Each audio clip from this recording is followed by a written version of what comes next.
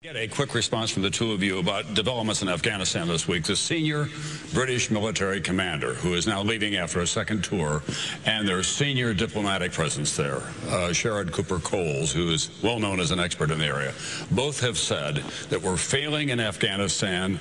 The commander said we cannot win there. We've got to get it down to a low level insurgency, let the Afghans take it over. Cowper-Cole said, what we need is an acceptable dictator. If either of you becomes president, as one of you will, how do you reorganize Afghanistan strategy, or do you? Briefly, if you can. I'll be very brief. Uh, we are going to have to make the Iraqi government start taking more responsibility, withdraw our troops in a responsible way over time, because we're going to have to put some additional troops in Afghanistan.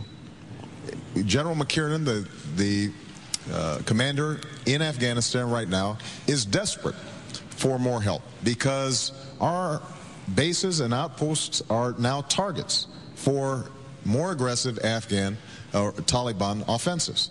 We're also going to have to work with the Karzai government, and when I met with President Karzai, I was very clear that you are going to have to do better by your people in order for us to gain the popular support that's necessary. I don't think he has to be a dictator. We, we want a democracy in Afghanistan.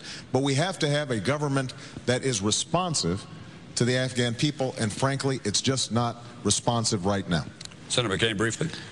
General Petraeus has just taken over a position of responsibility where he has the command and will uh, really set the tone for the strategy and tactics that are using. I've had conversations with him. It is the same overall strategy. Of course, we have to do some things tactically, some of which Senator Obama is, is correct on. We have to double the size of the Afghan army. We have to have a streamlined NATO command structure. We have to do a lot of things. We have to work much more closely with the Pakistanis. But most importantly, we have to have the same strategy which Senator Obama said wouldn't work, couldn't work, still fails to admit that he was wrong about Iraq. He, will still not admit that he was wrong about the strategy of the surge in Iraq. And and that's the same kind of strategy of go out and secure and hold and allow people to live normal lives. And once they feel secure, then they lead normal social, economic, political lives. The same thing that's happening in Iraq today.